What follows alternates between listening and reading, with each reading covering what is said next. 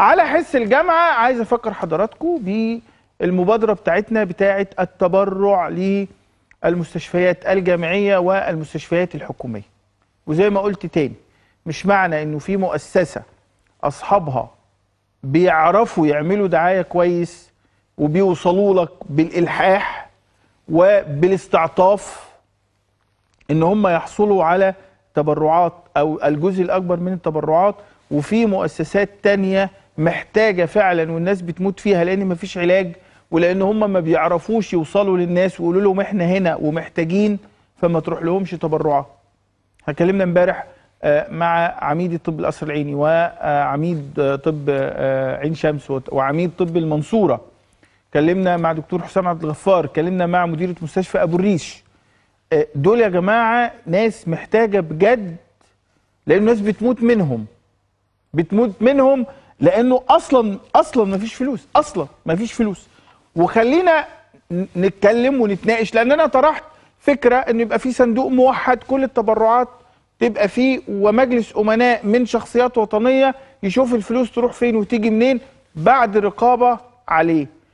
وأنا طارح ده للنقاش يعني أنا معايا الآن دكتور محمد البدري مدير مستشفيات جامعة المنيا. يا دكتور أهلا بيك يا فندم. حضرتك يا فندم.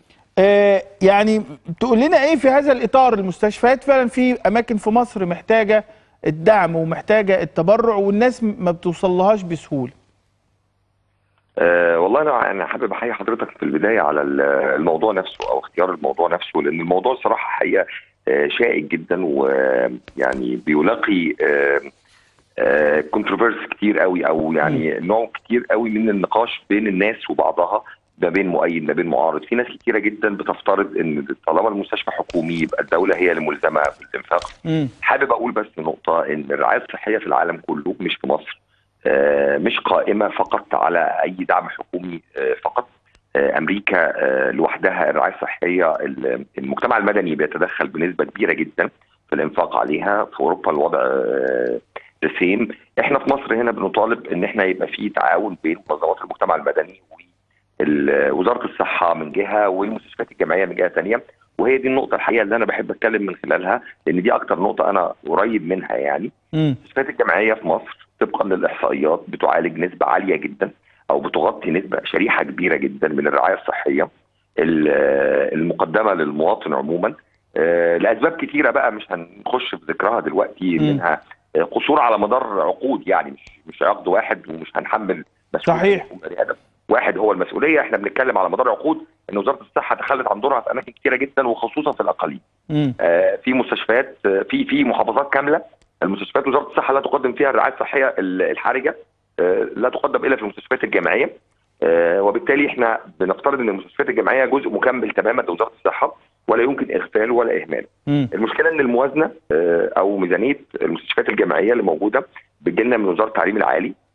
ما بتكفيش طبعا أكتر من يعني يا دوبك بكتير قوي سدس أو تمن الاحتياجات أو مم. بتغطي الكلام ده آه، إحنا طبعا كجهات حكومية ما بنقدرش يبقى عندنا آه، وسائل الدعاية اللي موجودة عند منظمات المجتمع المدني يعني باي ذا برضو أنا مش بهاجم أو مم. مش بتكلم ضد منظمات المجتمع المدني بالعكس هو دورهم مشكور جدا ولكن إحنا آه، لو بتكلم حضرتك في عدالة توزيع التبرعات آه، أنا كنت في قبل كده فعلا الاقتراح اللي حضرتك قلته ده أنا يعني آه، أنا شايف انه اقتراح جيد جدا.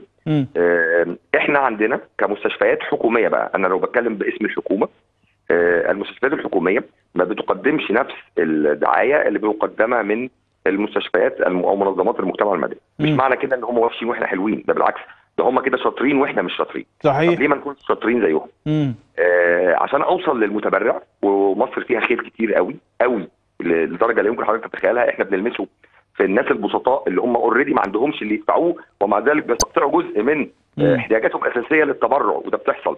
صدقات جارية على متوفين عندهم وناس مصابين وحاجات كتيرة قوي آه، فكرة جميلة جدا لو حضرتك تبنتها من خلال برنامج إحنا سيادتك. إحنا بطرحينها للنقاش و و آه. و و وبتكلم مع المسؤولين عن المؤسسات العلاجية بيقولوا لنا وي- ويأكدوا على إنه المتبرعين إحنا محتاجينهم يوصلوا لكل الأماكن مش لأماكن معينة لأنه أصحابها بيعملوا دعاية كويسة. وزي ما حضرتك قلت هم لا يعيبهم إن هم شطار ولكن إحنا عاوزين الباقيين يبقوا واصلين للناس. إحنا بنحاول نعمل جزء من الدور ده آه، دكتور محمد البدري. أنا بشكر حضرتك جدا آه، آه، دكتور محمد البدري مدير مستشفيات جامعة المني.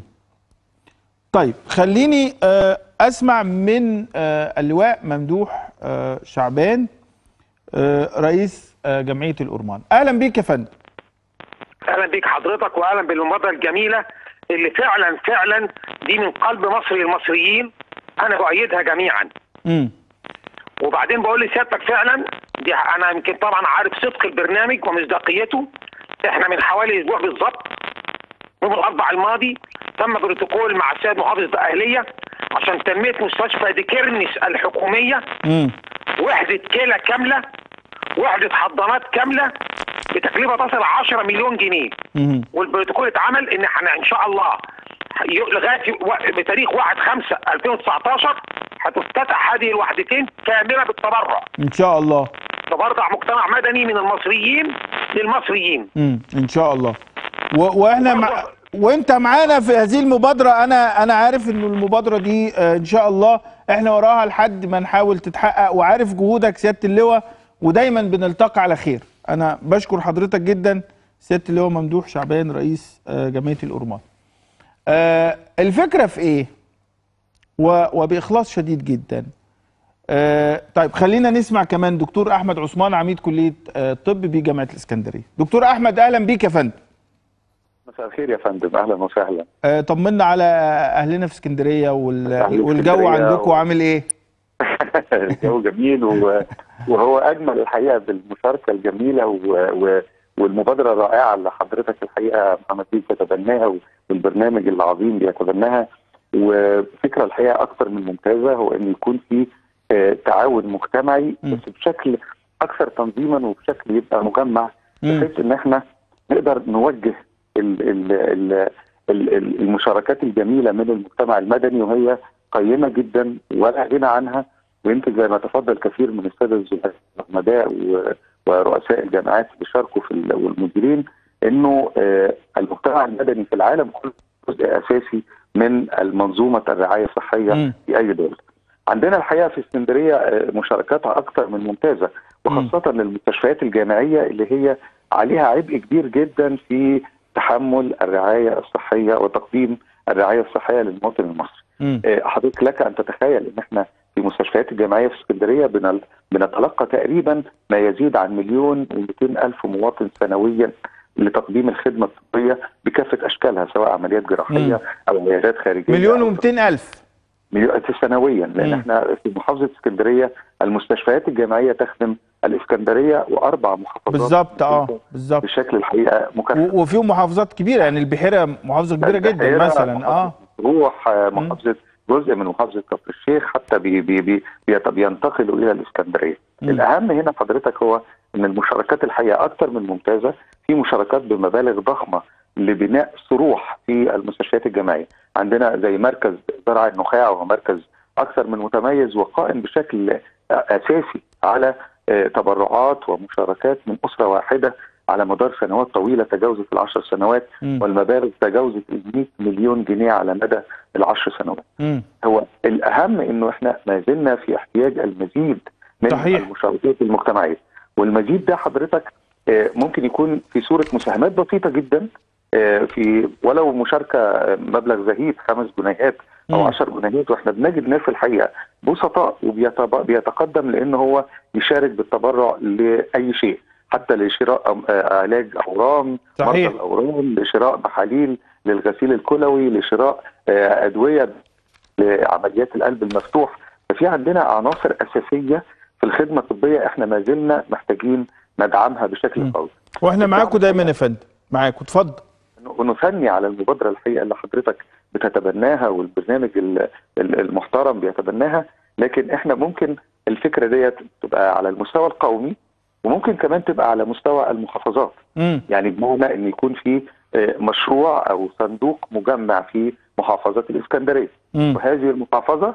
تبتدي يبقى الصندوق المجمع ده له إدارة والإدارة من آه، يشارك فيها المساهمين الكبار أو بعض المساهمين حتى الصغار بحيث إن هو يبقى عندهم رؤية في إدارة هذا الصندوق وإدارة توجيه الأموال التي يتم تجميعها لصالح المشروعات ولصالح الأوجه اللي. فيها نقص في الخدمات الصحية. بالظبط بهذا الشكل هنقدر نساعد الحقيقة في موازنة الدولة ولا نستطيع إن إحنا نرمي بكل تقلنا على موازنة الدولة لأنه العالم كله مش ماشي بهذا الشكل. نستطيع إن إحنا نوظف الأعمال الخير الكثيرة الموجودة عند أعمال الحقيقة ومنظمات المجتمع المدني وحتى يعني ال- المواطن المصري العادي البسيط عندهم الرغبة الجارفة.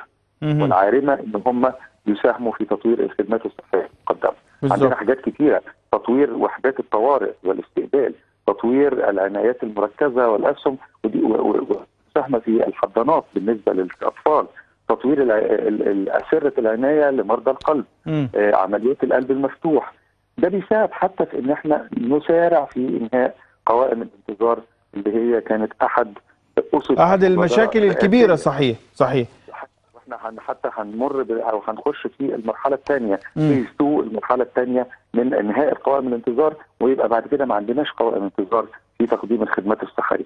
المشروعات اللي حضرتك شايفها والمبادرات الرئاسية في المسح بالنسبة لفيروس سي والأمراض غير السارية غير.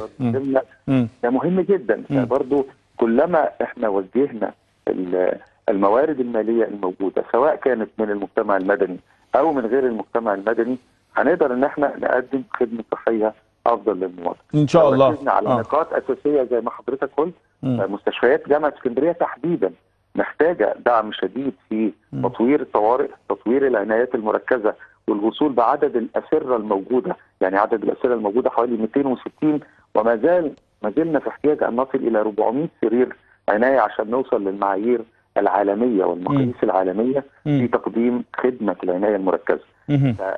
الموضوعات كثيرة زي ما قلت لحضرتك ممكن المبادرة إحنا هنعمل كمان آه، آه، إن شاء الله يا دكتور يعني حلقة ممكن نستضيف فيها عدد من أساتذتنا الكبار عمد- عمداء كليات الطب في ال- الجامعات المصرية ونطرح المسألة للنقاش ونفتح تليفونات للناس لأن إحنا محتاجين نسمع بعض ومحتاجين نتناقش لتطوير هذه المبادرة. بشكر حضرتك جدا دكتور أحمد عثمان عميد كلية طب جامعة الأسكندرية. آه، عشان عشان نلخص الحكاية لأنه في ناس هتتضامن معانا كتير. يعني أنا معايا لا أستطيع طبعا أنه يعني يكون معانا الدكتور صفوت النحاس آه، أمين آه، عام صندوق الزكاة. واللي بنسمعه. يا دكتور صفوت أهلا بيك يا فندم.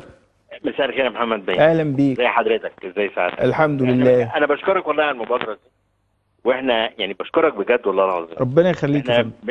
يعني إحنا من يوم ما سيادة الرئيس أعلن عن المبادرة بتاعت قوائم الانتظار وإحنا شغالين في قوائم الانتظار بشكل فضيلة الإمام الأكبر قال إحنا في مساندة كاملة لهذه المبادرة وإحنا راصدين 100 مليون جنيه للمصابين بفيروس سي والأمراض الأخرى الغير سارية وبنطور مراكز آه ل آه، آه، مراكز الفيروسات الكبدية عاملين. مركز فيروسات كبدية بالشروط اللي طلبها وزارة الصحة بالأطباء بالعيادات بالأعداد بكل حاجة في مستشفى الأزهر التخصصي بنعالج الناس كلها بالمجان يعني يمكن حضرتك لو عديت قدام التلفزيون المصري إحنا بنفحص كل العاملين في التلفزيون المصري. مم. يعني هم ودي في المرحلة الثانية اللي هي فيها محافظة القاهرة. آه. وشغالين في كل المراحل. وواخدين كل قوائم الانتظار في المستشفيات. طابو الريش في مستشفى عين شمس اللي هي دمرداش في كل المستشفيات. غير غير مركز الكلى اللي في تليفون يا شباب يبدو إن الخط فصل. طيب آه، أنا بشكر طبعا دكتور صفوت نحاس على آه، يعني تشجيعه لهذه المبادرة. بس خليني أبقى واضح عشان عشان الخيوط ما تروحش مننا. في آه، يعني جمعيات مجتمع مدني عندها مستشفيات وبتلم تبرعات وفي جمعيات من هذه الجمعيات عندها قدرات فجابت المتبرعين بالإلحاح فدفعوا. وفي مستشفيات تانية ما عندهاش دعاية. أنا بتكلم على صندوق صندوق واحد موحد. تبرعات المصريين لعلاج المرضى يعني أنت بتتكلم على ناس المصريين بي- بيدفعوا زكاة الزكاة دي ملهاش علاقة. يعني دي الزكاة دي لربنا. لكن في مصريين إيه يطلع من الزكاة للمستشفيات. وعايز أقول لحضراتكم حاجة انه طلعت فتاوى انه يجوز انك تطلع من الزكاة لع- لعلاج المرض. وه- وهقول لحضراتكم حاجة دون التشكيك في أحد. لكن أنا بعتقد إنه مافيا التبرعات كانت وراء مثل هذه الفتاوى. ليه؟ لأنه الناس بتطلع زكاة وبتطلع تبرعات. طيب الوقت إحنا قدام حاجة في خلل حاصل؟ والخلل ده مش هنتكلم فيه. يا وزارة الشؤون الاجتماعية وزارة التضامن الشؤون الاجتماعية دي من زمان. وزارة التضامن. محتاجين نفكر في الموضوع. هتقول لي قانونا. يا أخي يغور القانون ويتغير. يعني إذا كان القانون ضد تيسير حياة الناس ما يتغير. قوانين مش مش مش قرآن يعني. دي حاجة. ولو الناس ماسكة قوي طيب أنا عندي صندوق زي تحيا مصر ومحدش يقول لك هو عامل الفكرة عشان الفلوس تروح لتحيا مصر لأن تحيا مصر ده مش بتاع حد ده بتاع البلد. يبقى فيه هنا إشراف فكروا فيها وإحنا هنفضل نفكر ونحاول نوصل لصيغ في هذه المبادرة التي تقوم على هدف واحد أن تصل أموال التبرعات التي تخرج من جيوب المصريين لعلاج المرضى تصل إلى هؤلاء المرضى. مش لحاجة تانية. ما نقعدش نشكك في بعض ونقول ونعيد وبتاع ومش عارف إيه. لا. الفلوس تطلع للناس. إحنا إن شاء الله هنعمل إحنا فعاليه 90 دقيقة. هنعمل فعاليه بس بنرتب ليها. أقول لحضراتكم هنبقى مستنيين هنروح أبو الريش. يعني هنحدد يوم. يمكن أقول لحضراتكم مع بداية الأسبوع إن شاء الله. وهنحدد يوم ونروح. وندعو وندعو الناس أصحابنا. ويجوا يوم تبرع. طب يوم تبرع لأبو الريش. وهنكون موجودين. هناك. وإحنا هنبقى أول المتبرعين.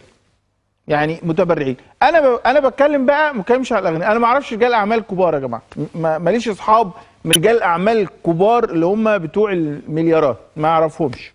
يعني مش هقدر أفتح التليفونات وأجيب آه، فلان وعلان وترتان ومش عارف إيه أقول له اتبرع. أنا أنا ببص للمصريين اللي اتبرع من 5 جنيه و10 جنيه و20 جنيه و30 جنيه و50 جنيه. تعالوا نتلم إحنا حوالين بعض. ونودي لأهالينا اللي يستحقوا آه، العلاج. آه، حاجة أخيرة قبل ما ألتقي بضيفي آه، العزيز دكتور أحمد دكتور محمد المهدي أستاذ الطب النفسي بجامعة الأزهر لأنه هن هو عامل دراسة مهمة جدا كعادته في كل دراساته عن الإعداد النفسي للدعاة.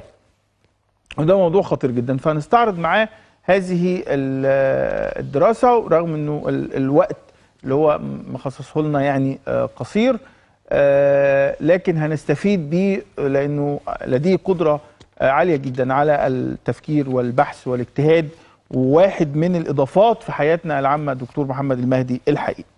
لكن حق مؤسسة مرسال امبارح إحنا قلنا إنه في مؤسسة اسمها مرسال بتاعت اللي هي رئيستها هبة راشد المدير التنفيذي لهذه المؤسسة. عملت على صفحتها قالت إن في واحد سوداني في معهد ناصر ما دفعش خمس محجوز جثته 5000 جنيه. وبتوع فالسو قالوا انه مدير معهد ناصر قال الراجل ما فيش مستحقات مالية. ووجهت هنا سؤال قلت طب يا جماعة المؤسسة دي إيه الحكاية؟ ال ال ال لو المدير بيقول الحقيقة يبقى في مشكلة. لو المدير ما بيقولش الحقيقة يبقى الفلوس راحت. طب ليه بينكر؟ الحقيقة آه، يعني هبة راشد تواصلت معانا وهذا حقها وهنسمعها دلوقتي. بس عايز اعرض أعرض لحضراتكم مثلا إن هم فعلا بعتوا شيك لمعهد ناصر أهو قدام حضراتكم. هذا آه، حق هذه المؤسسة. معهد ناصر للبحوث والعلاج ادوهم 47780 جنيه.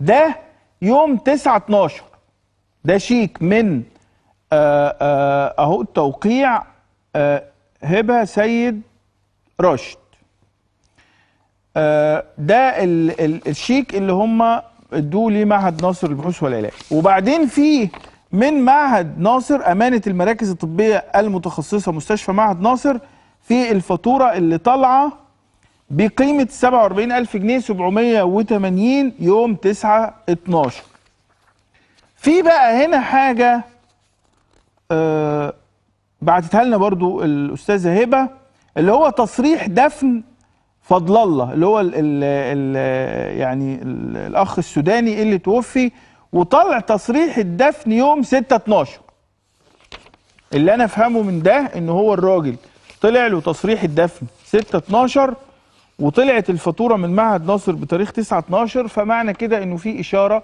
إلى إنه كان محجوز فعلا للمديونية اللي عليه ولما مؤسسة مرسال دفعت الفلوس طلعوه. هنا يعني خلونا أسمع من الأستاذ الأستاذة هبة راشد المدير التنفيذي لمؤسسة مرسال. أهلا بيك يا فندم. أهلا بحضرتك. أهلا, أهلاً بيك. محمد. آه، يعني إذا كان أنا عارف إن أنت طبعا واخدة على خاطرك لأن أنت اعتبرت ما قلناه امبارح إنه آه، تشويه للمؤسسة. إحنا كنا بنسأل يا فندم ولما حضرتك يعني آه، تواصلت معانا فأنا سعيد إنك تقولي لنا آه، ما الذي جرى. طيب آه، تمام. أنا بس حابه أعرف حضرتك آه، بنفسي آه، وبالمؤسسه إحنا مؤسسة خيرية متخصصة في علاج المرضى آه، بقالنا أربع سنين ومع ذلك الحمد لله متسجل عندنا أكتر من 9000 مريض. قربنا على ال 10000 مريض من كل الأمراض وكل الأعمار من اسكندرية لأسوان. آه، بدون تفرقة بين ديانة أو جنسية. تمام. آه، ال- ال- المريض المتوفي الله يرحمه ويغفر له آه، هو أصلا بيتعالج مع المؤسسة. وعشان كده إحنا متابعين كويس قوي التفاصيل وكنت اتمنى الحقيقة المكالمة دي تحصل امبارح بس خلينا في النهارده. آه، كل كل شيء كل شيء بميعاد يا أستاذة هبة بقى. هنعمل إيه؟ كل شيء بميعاد. زي ما حضرتك معاك كده عرضت تصريح الدفن هو توفى يوم 6 يوم تمام. 6 ده يوم الخميس. لما عرفنا من زوجته اللي هي لسه موجودة في القاهرة بالمناسبة يعني. آه إن هو توفى وإحنا متابعينه لأنه بيتعالج مع المؤسسة وإحنا متكفلين بعلاجه. ابتدينا ننسق معاها علشان الدفن وإجراءات الدفن. بلغتنا إن في مديونية عليها وإن الحسابات بلغتها في معهد ناصر إن هو مش هينفع يخرج إلا لما المديونية تتسدد. مم. وعرفنا منها إن المديونية حوالي 48000 مم. فمن يوم الخميس والكلام ده على بروفايلي على الفيسبوك الناس اللي عندي هتلاقيها شايفة الكلام ده. وإحنا بنحاول نتواصل بشكل ودي مع المعهد علشان نقول لهم طب يا جماعة خرجوا الراجل يتدفن. وإحنا هندفع المديونيه مش قصة لأن آه إحنا بالمناسبة- بشكل آه منطقي يعني ما, ما, ما فيش فيها حاجة لما يطلعوه يدفن فعلا طالما أنتوا بتتعهدوا بالدفع وليكوا سوابق ع- سوابق تعامل معاهم يا فندم مش كده؟ آه آه، ودي الحاجة اللي أنا عايزة أوضحها والحقيقة يعني أنا. يعني غير إن الدكتور هاني آه، أساء وشهر بينا إن هو أصلا زي ما رجعش الكلام ده عنده في الحسابات آه. المؤسسة السنة دي بس في 2018 دفع في معهد ناصر 480 ألف جنيه. نص مليون لمرضى في معهد ناصر. إحنا مش أول مرة هم يعرفونا يعني. مم. عمليات وزرع نخاع وجلسات إشعاع فاحنا بنتعامل معاهم بشكل مستمر. مم. استمرينا خميس جمعة سبت بنحاول نتواصل لو سمحتوا وخرجوا الراجل علشان ما فيش بنوك فاتحة. أنا مش عارفة أطلع لك يعني مش طبيعي المؤسسة بتبقى ماشية بسهولة 48 صحيح صحيح. ما فيش فايدة. ال- الست زوجة ال- المتوفي راحت لهم وراحت لمدير آه، مكتب دكتور هاني وترجته وطلبت منه قال لها أنا ماليش دعوة بالموضوع ده. مم. طب يا جماعة نتفاهم ما فيش تفاهم. فضلنا في المهاترات دي لحد يوم الحد ما فيش لما البنوك فتحت. لا ما فيش أي فايدة. لا هو يا المديونية تتسدد ما فيش و- وإحنا بينا تصريح الدفن أهو أنا بتكلم بالورق. آه لا لا أنا معاكي طبعا. أنا معاكي.